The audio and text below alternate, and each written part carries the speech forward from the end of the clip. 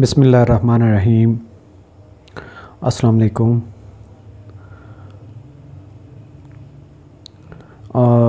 आज हम everyday science का लेक्चर नंबर थर्टीन स्टार्ट करने लगे हैं और आज का हमारा टॉपिक है फेजेस ऑफ़ मून कि चाँद के कितनी फेजेस हैं उसके बारे में हम देख पढ़ेंगे कि हमें चाँद जब पहली आ, होती है चाँद की तो हमें कम क्यों नज़र आता है?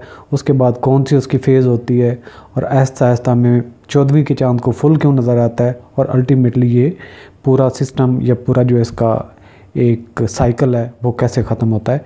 इसी पे आज का हमारा पूरा टॉपिक है और इसी पे ही हम आज बात करेंगे। सबसे पहले जो इसके रेलिवेंट हम पहले भी लेक्चर पढ़ चुके हैं, जो रेवोल्यूशन और रोटेशन ऑफ़ द अर्थ के बारे में भी हमने बात की थी। आज फिर उसी से हम स्टार्ट करेंगे कि हमारे ये अर्थ का एक्सेस है और ऊपर वाले को हम नॉर्थ एक्स कहते हैं और नीचे वाले को हम साउथ पोल कहते हैं। तो ये अगर एक्सिस एक इमेजिनरी लाइन हम कहें तो जो आ, हमारी अर्थ है ये इसके इर्द गिर्द घूमती है। ऐसे रोटेशन इसकी होती रहती है और इस तरह घूमती रहती है और हमारे दिन रात बनते हैं। जो फ़ेज़ सूरज की तरफ़ होगा वहाँ पे यहाँ पे जैसे सनलाइट आ रही होगी तो जिस फ़ेज़ पे सनलाइट पड़ रही है वहाँ पे दिन होगा और जो फ़ेज़ बाहर वाली साइड पे होगा जो यानी कि सूरज से छुपा होगा वहाँ पे नाइट होगी। तो ये थे हमने लास्ट टाइम इस पर हमने पूरी अंडरस्टैंडिंग भी की थी, इस पर हमने पढ़ा था सारा। आज हम इससे थोड़ा सा आगे चलेंगे और सारी जो हमारी रेलिवेंट टॉपिक है, इसको हम अंडरस्टैंड करेंगे। तो यहाँ पे हमने देखना है कि ज़मीन की दो मूवमेंट्स हैं। एक रोटेशन है, जो अपने ही एक्सेस के इर्द गिर्द घूम रही है, और दूसरी है रेवोल्यूशन रेवोल्यूशन इस तरीके से जो सूरज के गिर्द ज़मीन चक्कर लगाती है और घूमते घूमते अल्टीमेटली यहाँ से आती है, पूरा एक चक्कर लगा के। अच्छा तो जो चाँद है, इसकी भी मूवमेंट होती है। कैसे मूवमेंट होती है? जिस तरीके से ज़मीन की एक रोटेशन होती है, इसी तरीके से चाँद की भी रोटेशन होती है, ज़मीन की भी रोटेशन होती है और जो चाँद है, वो ज़मीन के गिर्द चक्कर लगाता है। जैसे ज़मीन सूरज के गिर्द चक्कर लगाती है, चाँद ज़मीन के गिर्द ये इस तरीके से चक्कर लगाता है। और ये जो रोटेशन की स्पीड है, वो चाँद की और ज़मीन की तकरीबन एक जैसी होती है और इसी वजह से हमें चाँद का वही रुख और जगह नज़र आ रही होती है, जो एक स्पेसिफिक पॉइंट पे कोई अगर लोकेशन पे है तो उसको रोज़ाना चाँद का वही हिस्सा नज़र आएगा क्योंकि उनकी स्पीड आपस में एक जैसी होती है। अच्छा फ़र्क क्या है? वजह क्या है? हम क्यों मुख्तलफ इसके देखते हैं? कहीं पे चाँद कभी छोटा हो जाता है, कभी बड़ा हो जाता है मतलब उसकी तो फ़र्क क्या है? वजह क्या है? तो हम इसी के बारे में हम बात करेंगे कि अगली जो पिक्चर है हमारी ये मज़ीद हमारे जो है ना, इस चीज़ को क्लियर करेगी। अब हमने इस पूरी चीज़ को अंडरस्टैंड करने के लिए एक एक चीज़ पे अब गौर करते हैं हम। सबसे पहले कि सन को हम इमेजिन कर लेते हैं कि इस साइड पे ही है सन और यहाँ से सन की ये रेज़ आ रही हैं, रोशनी आ रही है। सही है जी? और यहाँ पे ये पूरी, ये ज़मीन है और ये चाँद जो है रोटेट कर रहा है ज़मीन के इर्द गिर्द ठीक है जी। और यहाँ पे आपने ये भी याद रखना है कि चाँद भी रोटेट होता है और ज़मीन भी रोटेट हो रही होती। है अल्टीमेटली अगर हम यहाँ पे बात करें, इस पॉइंट पे बात करें तो सूरज की जो रोशनी आ रही है, वो किस साइड पे आ रही है? इस साइड पे, ज़मीन के हिस्से पे। तो ये ज़मीन का हिस्सा यहाँ पे तो दिन है। और जो लोग इस साइड पे हैं, ज़मीन के इस साइड पे, वहाँ पे रात है और वो चाँद को नहीं देख पाते। अच्छा इससे अगली फ़ेज़ पे हम जाएँ तो ज़मीन रोटेट हो जाती है, कुछ इस तरीके से उसकी डायरेक्शन बन जाती है। तो यहाँ पे जो लोग हैं, इसका कुछ जो हिस्सा है, सूरज की जो रोशनी है, वो चाँद पे पड़ रही है। और सूरज की यही रोशनी चाँद को रोशन करती है अदरवाइज़ चाँद की अपनी कोई रोशनी नहीं है। और जिस हिस्से पे चाँद के हिस्से पे सूरज की रोशनी पड़ रही होती है, वो लोग इसको ऑब्ज़र्व कर रहे होते हैं। अब वो हमारी, ये जो लोग हैं जो, जिनका रुख इस साइड पे है और चाँद इस साइड पे, वो चाँद को नहीं देख पाते। और जो यहाँ पे लोग हैं, वो चाँद के कुछ हिस्से को देख पाते हैं जो रोशनी उसकी सूरज की ज़मीन पे पड़ रही होती।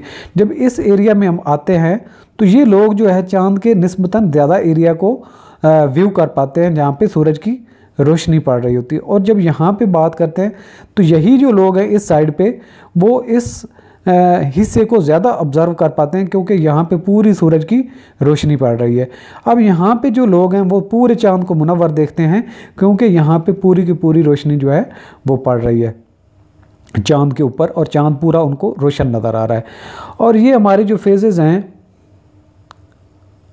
इस पे हम अगर मज़ीद थोड़ा सा इसको अंडरस्टैंड करें सिंपल अंदाज से तो यहाँ पे न्यू बॉर्न जो चाँद होता है, पहले नज़र नहीं आता, फिर उसका अगला फ़ेज़ होता है वैक्सिंग वैक्सिंग क्रिसेंट का मतलब कि जब चाँद बढ़ रहा हो और उसकी राइट साइड जो है रोशन हो, इसको वैक्सिंग की स्टेज होती है, ये सारी वैक्सिंग की स्टेज है यह सारी यहाँ तक, और ये वैक्सिंग की स्टेज आ रही है। अच्छा यहाँ पे जब हम मून के आते हैं तो लेफ़्ट साइड जब इसकी मून है तो ये वेनिंग स्टेज की तरफ़ चला जाता है। तो इसकी लेफ़्ट साइड जो है, वो रोशन होती है। तो जैसे हमने यहाँ पे बात की थी, यहाँ पे फुल ये जो लोग हैं फुल ऑब्ज़र्व करते हैं चाँद की रोशनी, यहाँ पे फिर आते हैं तो कुछ हिस्सा इनको रोशन नज़र आता है, बाकी वो अंधेरे में चला जाता है। और इस तरीके से ये जो ज़मीन की एक साइड वाले लोग हैं, जिनका रुख जो चाँद की तरफ़ होता है, वो चाँद को फुल देख सकते हैं। जो दूसरी साइड पे होते हैं, वो चाँद की उस हिस्से को देख सकते हैं। कुछ हिस्से को जहाँ पे रोशनी सूरज की पड़ रही होती है। तो इस वजह से हमें चाँद की फ़ेज़ जो है, वो मुख्तलिफ़ चाँद की नज़र आ रही होती है कि पहली चाँद जब होती है तो बड़ी मुश्किल से देखा जाता है और सात आठ मिनट का उसका ड्यूरेशन होता है। उसके बाद वो बढ़ना शुरू हो जाता है और फिर चाँद की जब चौदहवीं होती है तो पूरा चाँद ही नज़र हमें आता है और फिर बाद में दिन को भी हमें नज़र आता है। इतने को उसकी, वो रोशनी उसके ऊपर पड़ रही होती है। लेकिन दिन में सूरज की रोशनी ओवरऑल इतनी फैली होती है कि जो चाँद के ऊपर रोशनी पड़ने से टकरा के आती तो हमें चाँद फिर भी रोशन नज़र नहीं आता। अच्छा लिवनियर मूवमेंट पे हम मज़ीद अब, ये हमने पूरा इसी तनाजर में ये जो हमने लास्ट टाइम दो पिक्चर्स देखी हैं, इनको आपने माइंड में रखना है तो ये सारी चीज़ें आपको अंडरस्टैंड करने में बहुत आसानी हो जाएगी। ल्यूनर मूवमेंट क्या है? Revolve around the earth as the earth revolve around the sun इस पर हम बात कर चुके हैं। जैसे ज़मीन सूर्य के गिर्द घूमती है, इसी तरीके से चाँद इर्द गिर्द ज़मीन के चक्कर लगाता है। इसके अलावा revolve around earth in twenty nine earth days जो हमारे ज़मीन के दिन रात बनते हैं, वो तकरीबन उनतीस इशारिया पचास, यानी कि साढ़े उनतीस दिन बनते हैं, जब चाँद ज़मीन के गिर्द एक पूरा चक्कर लगाता है। रोटेट्स ऑन इट्स एक्सेस जैसे ज़मीन अपने एक्सेस के गिर्द घूमती है, इस तरीके से चाँद भी घूमता है। Little over twenty seven earth days और इसको रोटेशन के लिए कितना टाइम लगता है? Twenty seven days and something तो मतलब इसकी वही डायरेक्शन तकरीबन हमें नज़र आ रही होती है ज़मीन से, जब हम देखते हैं चाँद को। The same side of the moon always faces earth because it rotates at about the same rate as earth जितनी स्पीड ज़मीन की होती है, उतनी स्पीड ही चाँद की होती है। इसी वजह से हम चाँद का वही हिस्सा बार बार देखते रहते हैं। इसके बाद ये चीज़ें अंडरस्टैंड करना ज़रूरी है कि वैक्सिंग क्या है और वेनिंग क्या है? वैक्सिंग क्या है? A light is being added and the moon is looking bigger each day कि जब चाँद की जो जसामत है, देखने वाली, रोशनी वाली, वो जब बढ़ रही होती है तो उसको हम वैक्सिंग स्टेज की तरफ़ कहते हैं। जो वेनिंग स्टेज है क्या है? The light is going away and the moon appears to be shrinking each day और हर आने वाले दिन चाँद कम होता जाता है। यानी कि जब चौदहवीं तक चाँद जाता है तो वो वैक्सिंग की स्टेज की तरफ़ होता है। जब चौदहवीं से नीचे की तरफ़ आता है आ, मतलब पंद्रहवीं सोलहवीं सत्रहवीं क्योंकि उसकी रोशनी फिर कम होना शुरू हो जाती है तो उसको हम वेनिंग स्टेज कहते हैं। न्यू मून, हमने पहले साइड में जो पिक्चर में भी देखा तो मून शुरू हो रहा था। The side of the moon that is lit up is facing the sun and the dark side is facing the earth यानी कि जो रोशनी वाली वो जगह होती है साइड होती है, वो सूरज की तरफ़ होती है और अंधेरे अंधेरे वाली साइड ज़मीन की तरफ़ होती है। इसलिए वो अंधेरे वाली जो साइड चाँद की होती है, हम उसको नहीं देख पाते।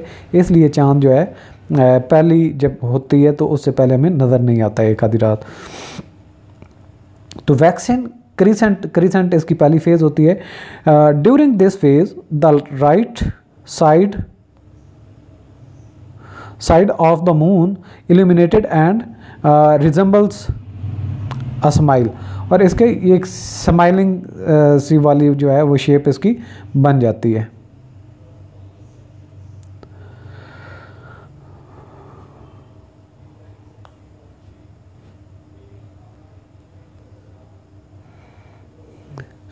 इसके बाद आता है फ़र्स्ट क्वार्टर, जब पहला हफ़्ता गुजर जाता है, the the entire right half right half the moon is illuminated and the moon continues to grow. यहाँ पे आधा जो चाँद है वो रोशन हो जाता है और ये बढ़ता रहता है। इसके बाद आता है वैक्सिंग गिब्बस और ये आता है stage now the moon is more than half full. ये मतलब आधे से ज़्यादा जब हो जाता है रोशन, लेकिन फुल नहीं होता तो इसको क्या कहते हैं? Waxing gibbous then half all but not fully lit up और कंप्लीट लाइट नहीं इस पर आती it is still getting bigger ये अभी भी जिसामत में बढ़ रहा होता है। फुल कब हो जाता है जब चौदहवीं चौदहवीं का चाँद होता है। The entire side of the moon facing earth is lit up and appear like a complete circle और ये कंप्लीट सर्कल की एक शेप शेप इसकी बन जाती है तो इसको फुल मून कहते हैं हम। इसके बाद वेनिंग गिबस इसका शुरू हो जाता है, यानी कि जो फुल से नीचे की तरफ़। After being full, now the moon is shrinking in size. It is more than halfway lit, but now the right side appears dark अब जो पहले राइट right साइड वाली रोशन होती थी, इस साइड पे जब जा रहा होता था, अब जा रहा है तो यहाँ पे इसकी राइट right साइड जो है, जो पहले रोशन थी, अब जो है वो डार्क होना शुरू हो जाएगी, इस तरीके से चलता जाएगा। यहाँ पे देखें, अब जो है राइट साइड जो बिल्कुल टोटली डार्क नज़र आ रही है और लेफ़्ट साइड रोशन है। तो इसको क्या कहते हैं? थर्ड क्वार्टर में आ जाएगा। During this phase the entire left half of the moon is illuminated and the entire right half is dark we are getting closer to a new moon तो हम किस तरफ़ जा रहे होते हैं? जब हमें नया चाँद नज़र आने की तरफ़ हम मूव करते हैं और वेनिंग क्रेसेंट कब बन जाता है? ये होता है अपोजिट ए वैक्सिंग क्रेसेंट यानी कि ये वैक्सिंग क्रेसेंट का अपोजिट होता है waning crescent the left side of the moon is illuminated and resembles to smile अब फिर स्माइल जैसी इसकी जो है पिक्चर बन जाती है।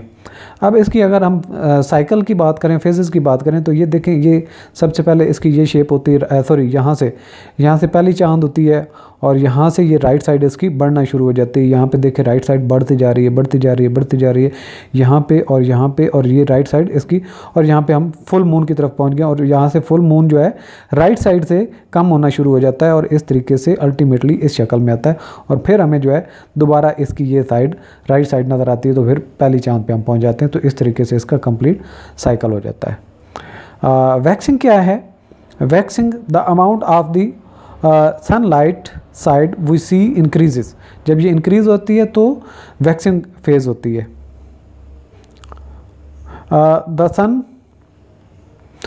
the sunlight side is white on the right side the sunlight side increases from new moon to full moon ये न्यू मून से लेके फुल मून की तरफ़ इस तरीके से बढ़ती जाती है। और इसके बाद वेनिंग कौन सी स्टेज होती है? जब ये कम होना शुरू हो जाता है waning the amount of sunlight side we see decreases the sunlight side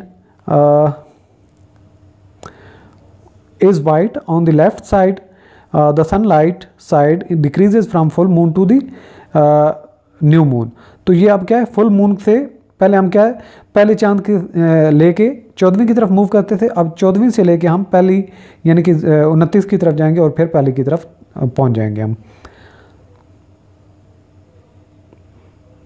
तो ये हमारा पूरा एक चाँद के बारे में सारी अंडरस्टैंडिंग थी कि चाँद की क्या फेजेस होती हैं और अल्टीमेटली जो है इसकी रिजेंबलेंस कैसे होती है। पहली चाँद को, आखिरी चाँद को वैक्सिंग स्टेज कौन सी है विनिंग स्टेज कौन सी है, और इसकी रोटेशन रेवोल्यूशन में क्या फ़र्क है? सेम साइड हमें क्यों नज़र आ रही होती है? और अल्टीमेटली हम इसकी सारी चीज़ें जो है, इस तरीके से कवर कर लेते हैं। उम्मीद करता हूँ कि ये आपको लेक्चर की समझ आ गई होगी। मुझे ज़्यादा दीजिए अल्लाह हाफिज़।